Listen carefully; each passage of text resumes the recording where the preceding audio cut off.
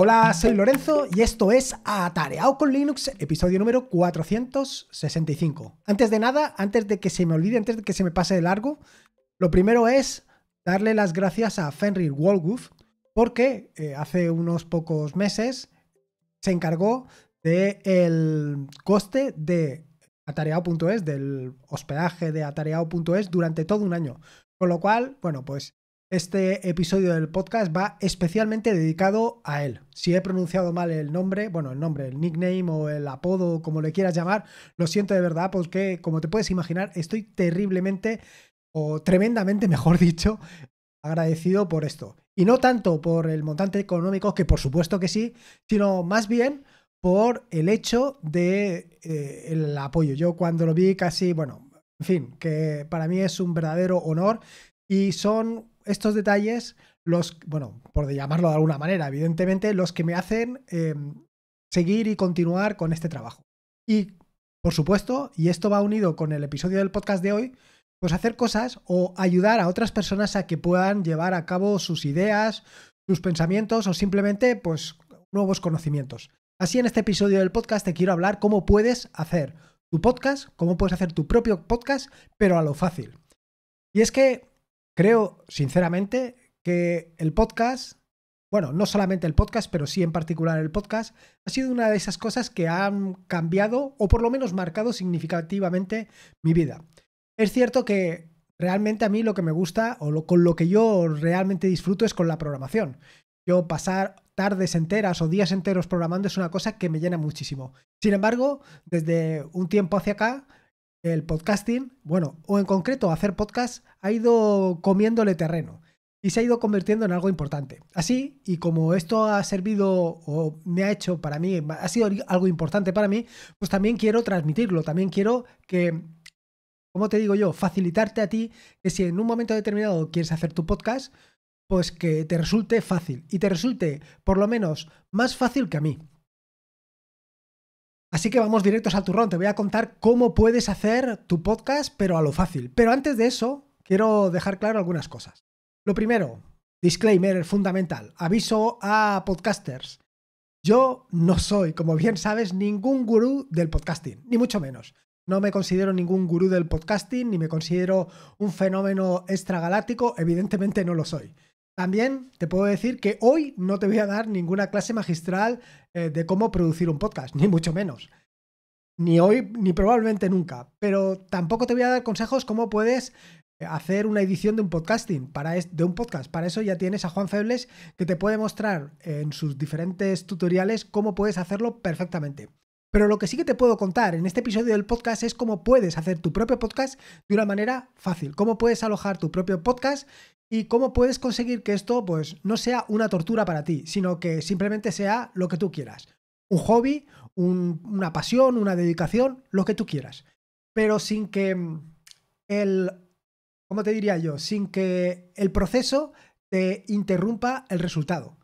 En muchas ocasiones, cuando quieres, por ejemplo, escribir un libro, si alguna vez te has planteado un libro, cuando quieres escribir, cuando quieres producir un podcast, cuando quieres hacer un podcast, probablemente lo que más te preocupe es eh, todo lo que necesitas, todas las herramientas que necesitas para escribir ese libro o para producir ese podcast. ¿Cómo grabo? ¿Dónde lo alojo? ¿Qué es lo que hago?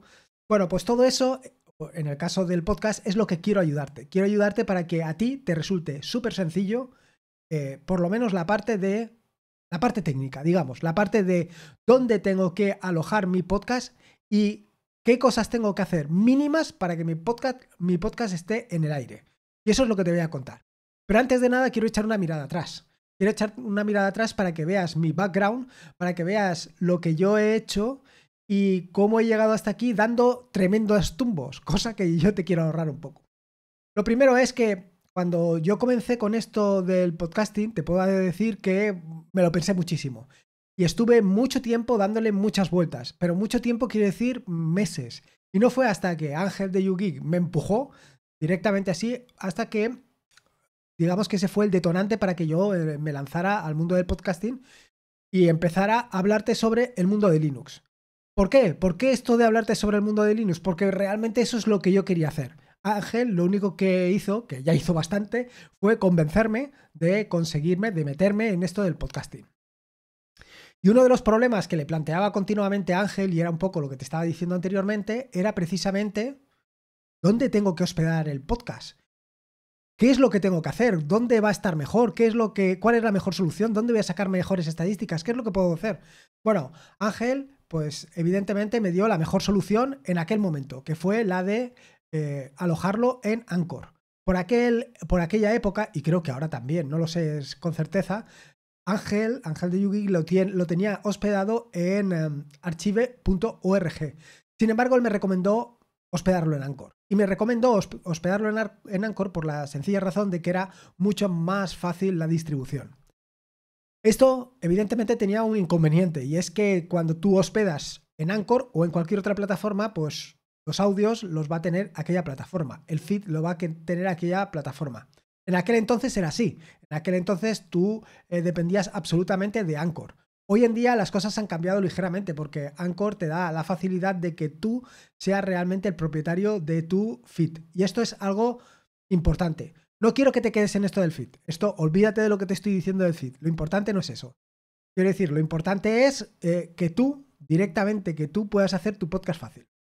Ahora, llegados a este punto, dirás, bueno, y después de estos cuatro años largos, estando ya en tu quinta temporada, ¿qué te ha aportado a ti el podcasting? ¿Volverías otra vez a empezar con el podcasting? Bueno, pues lo cierto es que sí. Lo cierto es que para mí el podcasting me ha aportado muchísimo. Esto de poder hablarte un par de veces a la semana, de verdad que ha sido em, muy revelador para mí. Primero, y antes de nada, decirte que los primeros episodios del podcast me costaba muchísimo, me costaba muchísimo ponerme a hablar. Prácticamente te diría que empecé leyendo los primeros episodios del podcast. Luego, poco a poco, me di cuenta que esta no era la solución, que lo que tenía que hacer era prepararme un guion y sobre ese guion ir hablándote. Y eso es básicamente lo que he conseguido ahora. Ahora, con unas pocas palabras, soy, soy capaz, iba a decir soy incapaz, pero no, todo lo contrario, soy capaz de estar durante 20 minutos hablándote sin parar. Porque como ya te he contado en algún episodio anterior del podcast, estos episodios del podcast los grabo del tirón. Desde que empiezo hasta que termino, sin ningún tipo de parada, nada de nada. Si me equivoco, ahí se queda. Pero el objetivo no es ese, el objetivo no es equivocarme, evidentemente, el objetivo es contarte algo que te resulte interesante y práctico. Una de las grandes ventajas del podcasting es que te permite llegar a mucha gente de una manera muy sencilla. Hay mucha gente que no tiene tiempo pues, para ver un vídeo en YouTube, para leer un artículo de un blog, pero sí que tiene tiempo para hacer deporte, por ejemplo. Sí que tiene tiempo para escuchar mientras hace alguna tarea en casa o mientras simplemente va a comprar. En ese momento hay mucha gente que escucha los podcasts, con lo cual es el momento perfecto para hablarles. Y es el momento perfecto por otra razón que te voy a decir ahora, porque les estás hablando al oído. Estás creando un vínculo importante con la persona a la que te estás dirigiendo. Es brutal. Y esto lo he notado y lo he notado muchísimo. Siento una cercanía contigo que antes era imposible para mí sentirla. Luego, por supuesto, esto de hablar 20 minutos del tirón, sin parar, contándote todo lo que te cuento habitualmente, pues lo que te permite, lo que te da es mayor fluidez a la hora de hablar. Y si bien al principio, cuando empecé a grabar los episodios del podcast, eh, era casi algo obligado lo de ponerme a grabar, que no sentía la comodidad, hoy en día te puedo asegurar que estoy esperando fin de semana o estoy esperando aquel día donde voy a grabar. Porque ya es una cosa que tengo completamente interiorizada. Y no solamente que tengo completamente interiorizada, sino que realmente ha llegado a apasionar. Bueno, después de todo lo que te he contado, después de todo mi background, después de haberte dicho qué estoy aquí, cómo he llegado hasta aquí, qué es lo que me ha ayudado, sobre todo Ángel, como te decía, qué es lo que me ha proporcionado, ahora llega el momento de qué herramientas te voy a dar a ti para que te cueste menos hacer tu podcast bueno, te cueste, en lo que a dinero se refiere, mm, va a ser tu voluntad, básicamente, porque va a ser lo que tú quieras donar a GitLab y archive.org, archive.org. Es lo que tú quieras donar. Porque mi propuesta es que alojes tanto la página web donde va a estar hospedada la página, valga la redundancia, como el feed en eh, GitLab y que em, lo que es eh, los audios, los, los alojes, los hospedes en archive.org. Esto probablemente ya empieza a sonarte del episodio número 454 del podcast, en el que te hablé de cómo podías tener un servidor gratuito o cómo exprimir GitLab al máximo. Pero antes de llegar a este punto, decirte que todo esto surgió aproximadamente en el verano del 2022, el verano pasado. Porque Alberto, Papa Friki, que seguro que has escuchado alguno de sus dos podcasts, que son dos podcasts fantásticos, tanto Papa Friki por un lado como Charlando con, en aquel momento pues contó que tenía unos determinados problemas con las horas de publicación.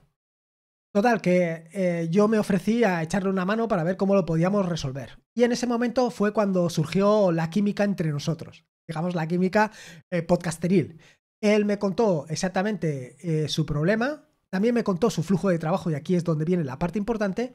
Y en ese momento, en esas circunstancias, pues no solamente me, le propuse resolver el problema de las horas de publicación, sino también la de facilitarte, facilitarle al máximo su publicación, la publicación de su podcast.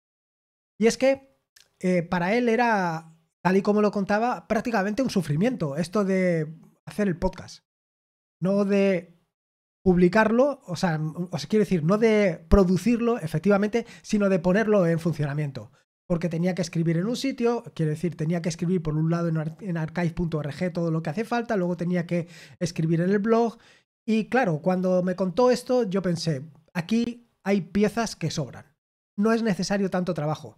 Porque lo que me di cuenta es que efectivamente lo mismo que escribía en archive.org, luego lo terminaba escribiendo exactamente lo mismo en GitLab, la página.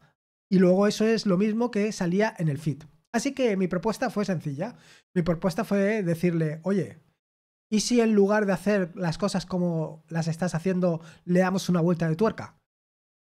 Total, que evidentemente, como te puedes hacer una idea, Alberto eh, me dijo que sí, que íbamos a probar. Y ahí, como te digo, se inició una, un trabajo de colaboración, pues que nos llevó desde prácticamente, desde, bueno, exactamente agosto, agosto del 2022 hasta pues enero del 2023, casi febrero.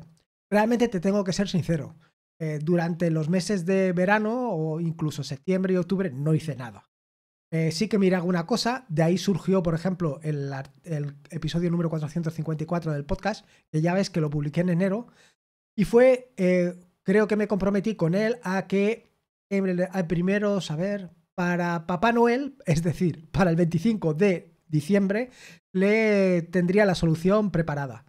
Luego lo tuve que retrasar hasta Reyes, pero sí, en Reyes ya tuvimos una solución y una solución que yo creo que ha sido una solución muy acertada. Y tan acertada que el próximo jueves se va a venir Alberto, se va a venir Papa Friki a contarte exactamente, bueno, a contarte, vamos a hablar sobre esto y otras cosas. Porque claro, no puedo traerme a nadie sin preguntarle cuál es su distribución de Linux, etcétera, etcétera. Pero bueno, no solamente vamos a tratar de eso. Así que, ¿cuál es mi propuesta para publicar tus podcasts? Bueno, pues mi propuesta para publicar tus podcasts es muy sencilla, que subas tus audios a archive.org y que prepares una plantilla muy sencilla en GitLab. Esta plantilla lo que hace es, eh, una vez al día, que además lo puedes programar a la hora que tú quieras, eh, levanta un contenedor Docker y de esto no te tienes que preocupar nada, simplemente te estoy contando las interioridades. Levanta un contenedor Docker que lo que hace es, mirando todos los archivos que tienes en archive.org, los publica, es decir, genera tu página web en GitLab y crea el, el feed. Con lo cual tú luego simplemente tienes que pasarle el feed a quien quieras. Resumiendo, que simplemente tienes que eh, hacer un clon del repositorio de GitLab, modificar los parámetros que yo te, diré en las notas del podcast y ya está. Cuatro cositas más, cuatro detallitos y ya lo tienes. Y ya te puedes olvidar de todo lo demás. No tienes que hacer nada más. Bueno, evidentemente sí que tienes que hacer algo. Lo que tienes que hacer es todos los días que quieras, evidentemente, subir tu audio. Y luego a la hora que tú hayas programado, se publica. De esto ya te hablará con más detalle el próximo día eh, Alberto, porque, eh, bueno, él se ha encontrado con algunas peculiaridades que son importantes. Pero lo más importante para mí es que te quedes con el detalle. Em, vuelvo otra vez a la parte técnica. Te voy a contar sucintamente de nuevo la parte técnica para que veas que es súper sencillo. Y luego volveré otra vez a la parte, eh, digamos, menos técnica y cómo lo tienes que organizar. Sobre la parte técnica, decirte que lo que hice en su momento fue crear una imagen de Docker con una aplicación implementada en Rust que lo que hace única y exclusivamente es mirar todos los archivos que tienes publicados tú en tu repositorio, bueno, perdón, en archive.org a tu nombre. Con eso, mirando la descripción de cada uno y el título de cada uno, genera de forma completamente automática todos los posts que, todos los artículos de tu página web, de tu página web que estará alojada en GitLab. Y además genera el feed correspondiente. Además, esto tiene una ventaja brutal. La primera ventaja es que no te tienes que preocupar absolutamente de la publicación, a menos que tú quieras publicar una hora eh, concreta, un día concreto. Quiero decir que tú puedes programarlo que todos los días mires si hay nuevos archivos a las, por ejemplo, a las 8 de la mañana. Y luego incluso podrías decirle que lo mire también a las 12 de la mañana e incluso que lo mire también, pues no sé, a las 3 de la tarde. Si en cualquiera de esos periodos encuentra, lo que va a hacer es publicar. ¿Que no encuentra nada? Pues no va a publicar nada. Es así de sencillo. Esta imagen Docker que te digo lo que hace es, eh, básicamente, se levanta la imagen Docker, mira en archive.org, hace la publicación y luego eh, hace la publicación si hay algo y si no, no hace nada. ¿Cuánto vale esto? ¿Cuánto dinero vale toda esta operación? Pues toda esta operación vale 0 euros. Y vale 0 euros siempre y cuando cumplas una condición, y es que no te pases de las horas de uso de imágenes Docker o de operaciones de estas en GitLab. ¿Y cuántas horas tienes? Pues no me acuerdo. Sinceramente no me acuerdo cuántas horas son, pero te voy a decir que esto gasta aproximadamente unos 20 segundos al día. O sea, 20 segundos por operación. Con lo cual, si lo hicieras tres veces al día, pues van a ser pues, tres veces por 20 es un minuto. Y si publicaras todos los días serían 30 minutos, es decir, vas a gastar media hora al mes. Nada. ¿Y cuánto cuesta tenerlo en GitLab? Lo que quieras donar, si quieres donar algo. ¿Y cuánto te cuesta tenerlo en archive.org? Nada, lo que quieras donar, si quieres donar algo. Esto presenta varias ventajas. La primera de las ventajas que va a presentar es que, primero, el feed es tuyo y puedes hacer con él lo que te dé la gana. No dependes de un tercero bueno, evidentemente vas a depender de GitLab y de archive.org, pero de GitLab en cualquier momento puedes dar, baja la cuenta y se acabó el feed. Si no te gusta, lo quitas. Y en archive.org, pues evidentemente, si en un momento determinado quieres, pues puedes retirar todo lo que hayas publicado. Así que tú tienes todo el control y el poder de todo lo que estás haciendo. ¿Qué más se puede pedir?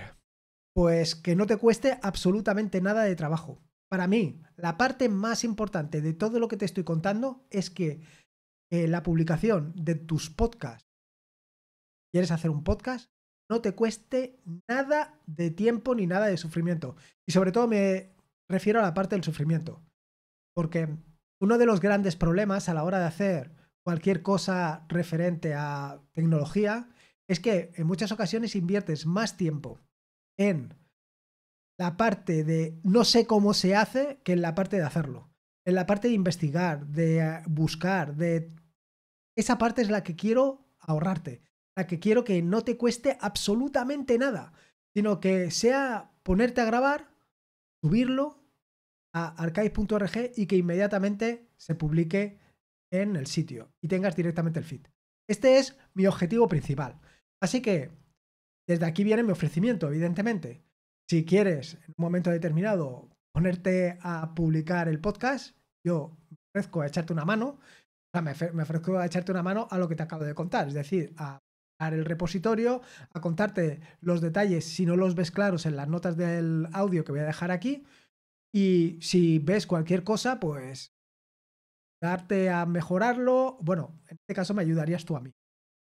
En este sentido, eh, ya tengo un pequeño reto porque eh, Berto me hizo una propuesta y es que cuando se publique cada uno de los audios y que el podcast, podcast que cada episodio del podcast cada día, lo que haga, además de publicarse en la página web, además de generar el feed, lo que debería de hacer finalmente es eh, publicarlo en Mastodon. Y esto, esto primero, no es tanto reto para mí, pero esto lo tengo hecho, o sea, lo tengo hecho, lo, lo tengo preparado para eh, añadirlo a la parte del, podcast, parte de la imagen que, que tenemos hecha para su publicación. Y luego, por otro lado, y esto sí que se lo comenté yo, es que él además sube los vídeos a YouTube. Yo mi propuesta es evidentemente esta parte, la parte de subir, eh, o sea, la parte de convertir el audio en vídeo y subirla a YouTube. Mi propuesta también es subirla a YouTube y si quiere también a Fediverse, en el caso de que tenga cuenta en Fediverse o solamente a Fediverse. Esto ya es eh, independiente. Pero sí que me apetece ese nuevo reto. La parte de subirla a Fediverse es muy sencilla porque esta sí que la tengo implementada. La parte de subirla a YouTube no lo tengo implementado todavía en RAS, pero no creo que sea muy complejo. Pero sí que me interesa más en Fediverse pues, por las implicaciones de cultura libre que tienen. Ya te puedes imaginar. En fin, que como ves, esto se trata de pues, ayudarte, en caso de que quieras poner en marcha tu podcast, a que no sea un dolor, a que esto no sea un verdadero castigo, sino que más bien sea pues una pequeña transición desde el momento en el que te decides a grabar un podcast hasta que lo publicas y que no te tengas que preocupar de absolutamente nada, que te cueste menos incluso que publicarlo en Anchor. Este es mi principal objetivo. Y esto es precisamente lo que te quería contar. No te quería contar nada más. Recordarte que el próximo jueves te vendrá Alberto, A contarte pues algunas cosas, a charlar un rato sobre esto, sobre esta aventura que hemos iniciado ambos para mejorar su flujo de trabajo con el tema del podcast y bueno, hablar un poco sobre el mundo de Linux, que como bien sabes es la parte que a mí tanto me apasiona. Y nada más. Mm, recordarte, recordarte que este es un podcast de la red de podcasts de sospechosos habituales, donde puedes encontrar fantásticos y maravillosos podcasts.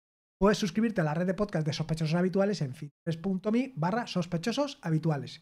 Y por último, y como te digo siempre, recordarte que la vida son dos días y uno ya ha pasado, así que disfruta como si no hubiera mañana y si puede ser con Linux. En este caso, con el mundo del podcasting, mejor que mejor. Un saludo y nos vemos el jueves. Adiós.